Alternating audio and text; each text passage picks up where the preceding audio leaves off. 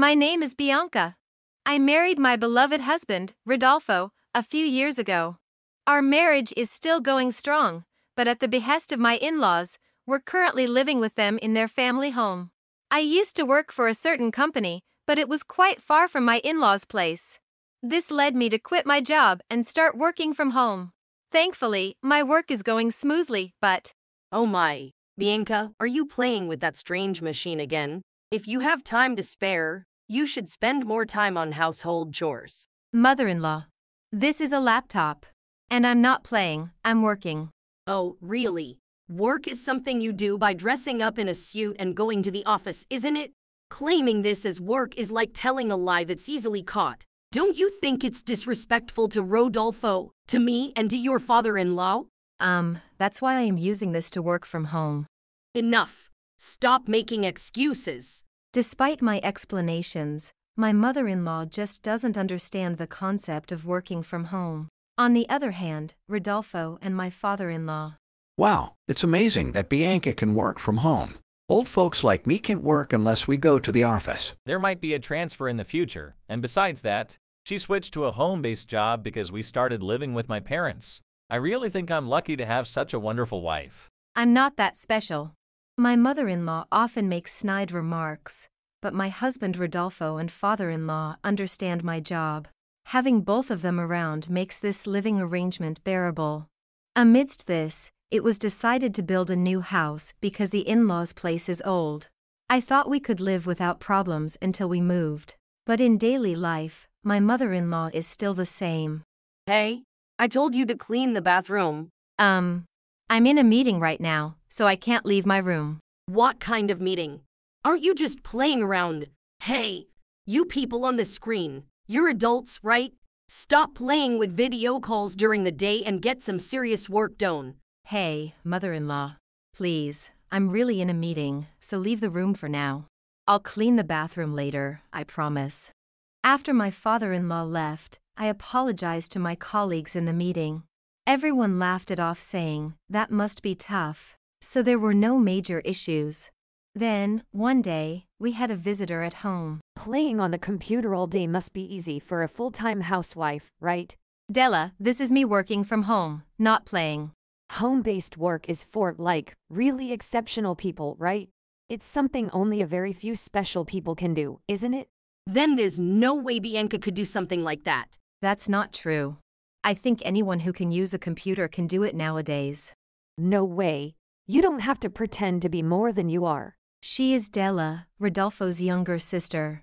Della, younger than Rodolfo, lives and works in the neighboring town. However, she, like my mother in law, didn't understand the concept of working from home. Despite Rodolfo and my father in law's admonishments, her attitude didn't change. Then, one day, some time later, Huh? Della, why are you in my room? And what is that? Why is my computer like this? It's broken. Oh, I borrowed it to play a game, but it didn't work. I don't recall lending it to you. I mean, it asked for a password, and I couldn't use it. That doesn't mean you break it like this. You know how you hit old TVs when the screen flickers, right? I remembered mom doing that, so I hit it, but then it broke. Of course, hitting it will break it. And that's for CRT TVs. My laptop is obviously LCD. You don't hit these.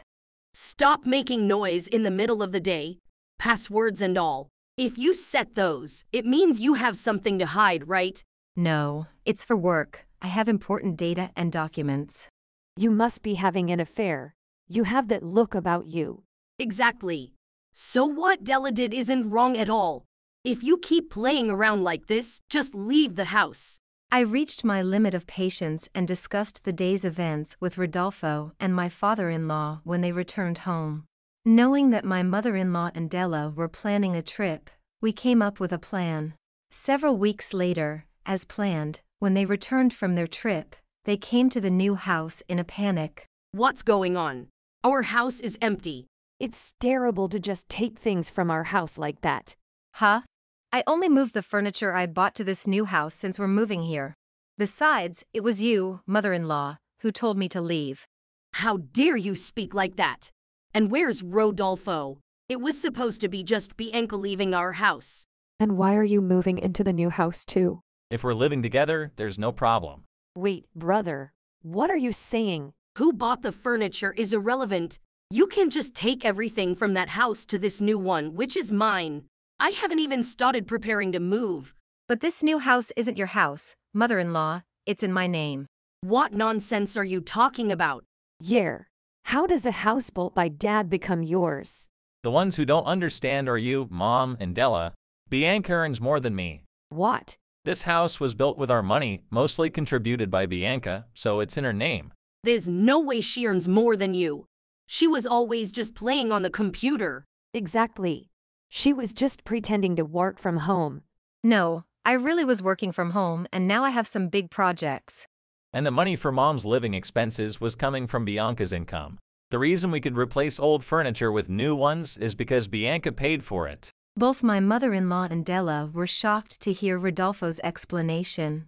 In fact, I was utilizing the skills from my previous office job for home based design work. Thanks to that, my workload gradually increased, and I started receiving larger projects. I had mentioned this to my mother in law several times, but she never believed me. So what am I supposed to do for living now? Exactly. Every time I came to visit, I used to enjoy meals and snacks. Ah. So it was Della who kept taking the snacks I hid. You were hiding them. Because, Rodolfo, you eat them as soon as you find them. Worry about my future, not the snacks. The house you're returning to is no longer there. Get the rest of your things out quickly. Father, what do you mean? That's our house, isn't it? Yeah. That's our cherished family home where my brother and I grew up. I told you about building the new house and who paid for it. Despite that, you didn't listen and were rude to Bianca. Rude. I haven't done anything of the sort. Right. Bianca was just playing, wasn't she? Enough! As I said earlier, the old house is being demolished, and it's already decided. Also, I'm divorcing your mother, and I'm disowning you, Della. Divorce. Wait a minute. You can't be serious about divorcing at this age. Do you think I'd joke about something like that? We'll apologize, Mom and I. We were wrong. Please don't cut ties with us. I'll apologize to Bianca too.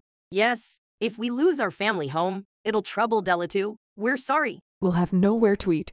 It'll cost us for food, and that's a problem.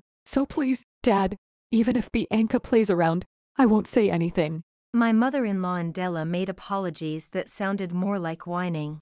It's too late for apologies now. You can't expect us to just accept them and move on. Mom Della, even after Dad and I warned you, you continued to do various things to my dear Bianca behind our backs. Unbelievable. What's so fun about tormenting your own family, you fools? I was just teaching Bianca as a mother in law should. Bianca must have exaggerated everything. What a troublesome person. But I need mom and dad's support. Without it, I don't have any money. And without our family home, how will I eat? I can't cook at all, and buying food costs money. That's why the allowance you were getting every month was also thanks to Bianca. It was Bianca's contribution to the household expenses that gave us some financial leeway. That's why we could give you part of it for your living expenses. Bianca always put on a smile and endured, but I've reached my limit. How can you not cherish someone who's been kind to you? Exactly. When Della came over for meals, Bianca would finish work early and rush to buy ingredients for dishes Della likes. And when you were tired, Bianca prepared ready to eat meals for you, right? I thought mom made those for me. No, Bianca did. Mom just handed them to you when you were leaving, right, Mom? Well, yes, something like that might have happened. You didn't tell her you made those, did you? My mother in law had been doing various things behind the scenes. I've heard about mother in law and daughter in law issues, but this was beyond belief. I was more astonished than angry when. Ah, then from now on, I'll thank Bianca properly and take the food home. That's okay, right? I'm not making it anymore. Why not?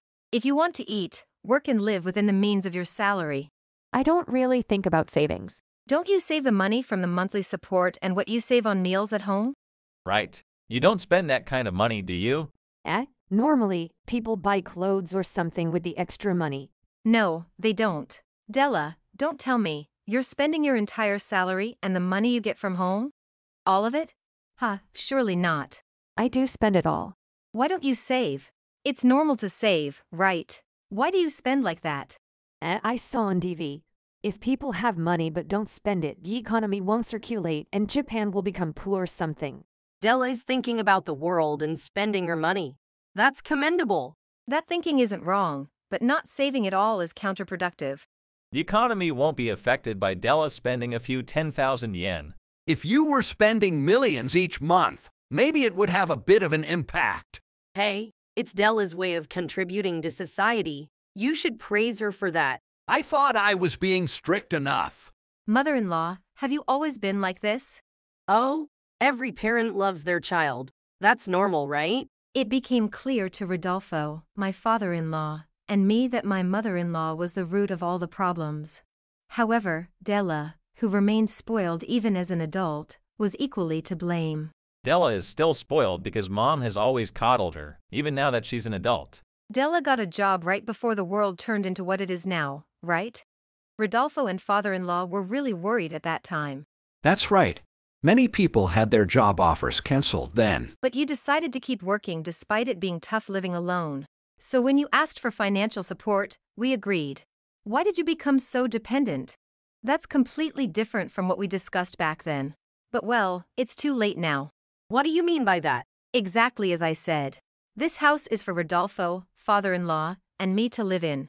From now on, father in law will divorce, and Della will be disowned. That's the reality.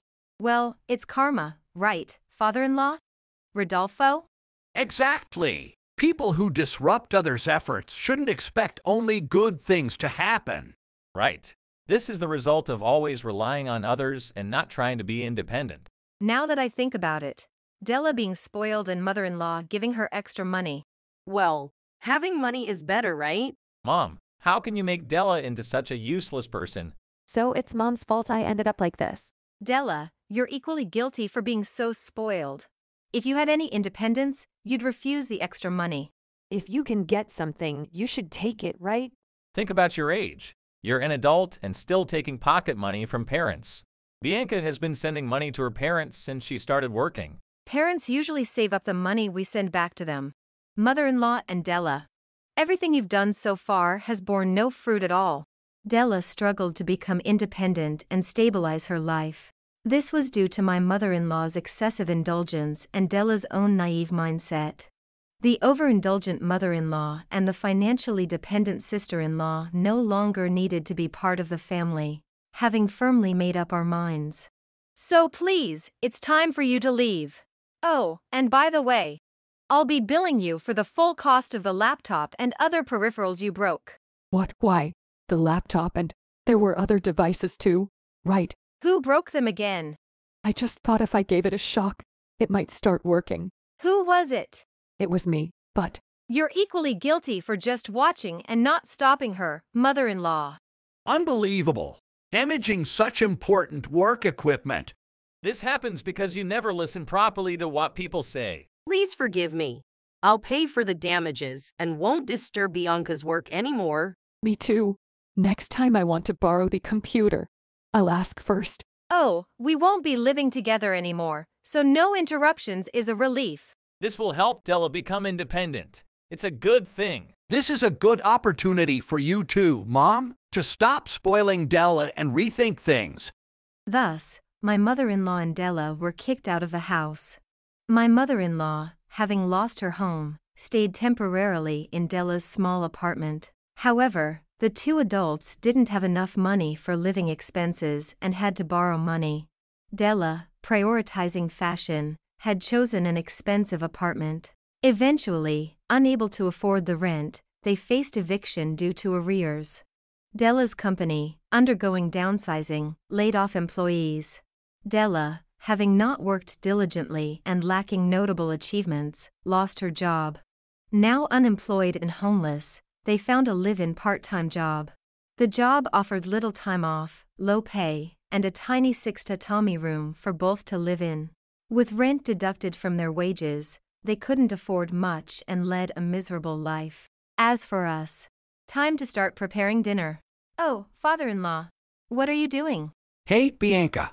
I thought you might be busy, so I decided to cook today using this cookpad site. Wow, Thank you, father in law.